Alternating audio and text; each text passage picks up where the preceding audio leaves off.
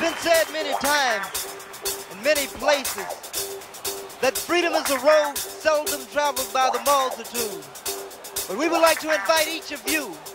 to come and go with us, and perhaps you'll see a side of life that you've never